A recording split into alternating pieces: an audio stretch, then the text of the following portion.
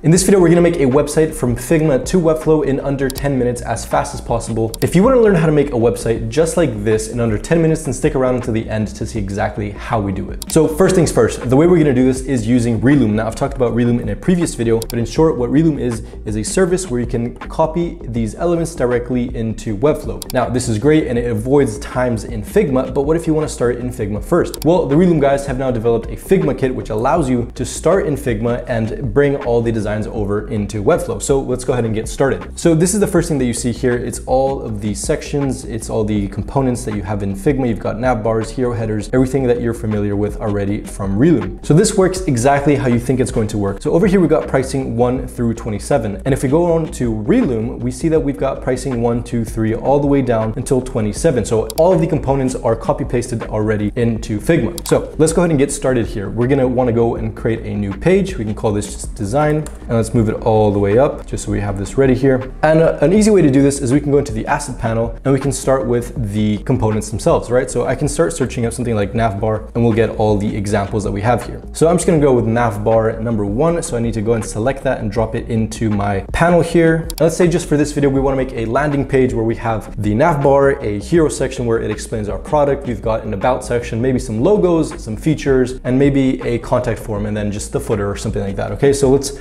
let's try to remember all of those sections. So we can start with header. And maybe I want there to be two buttons here. So apologies if you can't see this, it's quite small in Figma, but I want there to be two buttons and I want it to be an image. So again, I'm just gonna drag this, copy it over here. Okay, next up, let's add in some logos or something. So we're gonna go to logos and we can drop in these logo clouds here so we can see exactly all the big names that we've worked with, all the, the most prestigious, the best, all the best companies, right? Okay, next up, we wanna use a feature section. So we type in feature and these are all the examples we get, which is all the examples that you would think you'd get. So we wanna go ahead and drag in layout number one, for example. And maybe I don't actually like this one, so we can instead go all the way down to number eight or all the way down to, let's say 19, why not? So we've got a medium length section, we've got all the bullet points and then the image on the left, but maybe we want the image on the right side. So let's see if we've got one here, something like 24 or looking for an image on the left here. Okay, so here we have it. We found the same example. And now let's say that we want the FAQs. So I'm just gonna drag in number one,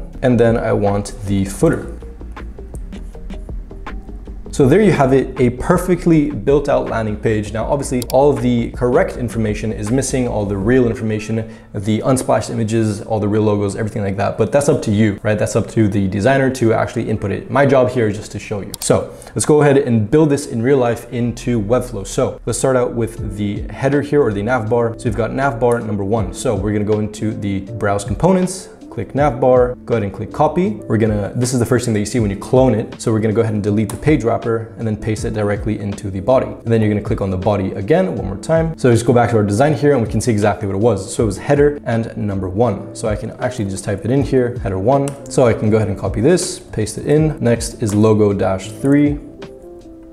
Copy this one, paste it again into the body so it goes under the next section that we've pasted. Okay, so now we wanna find this feature section over here and I'm now in the feature section, but again, there's so many elements here where it's hard to actually find the one that we want. So we're gonna use these filters here and we're gonna find the exact one that we want. So there's an image on the left side and then there's a medium title on the right side. So image on the left side, click that there. And then we can see that there's a few bullet points and then two buttons. So we can go ahead and just check all of these and find the one that we want. So we know that it's this one here. Again, make sure that you're pasting into the body, paste there, grab the last FAQ here, which is FAQ one. Okay, FAQ number one, we've got that. Paste it into the body and then footer number four. So here we have it. This is a fully fledged working scalable website that was just created in around, I don't know, I mean, I don't know how, how long that took, but maybe it was like six, seven minutes, maybe 10, I'm not sure. But either way, this is a pretty incredible product. And now that they've come out with the Figma, it's even faster, it's even better. It has animations as well, which is absolutely mind blowing. And now my entire job here would be to just plug in the correct images. I'd have to plug in the right logo,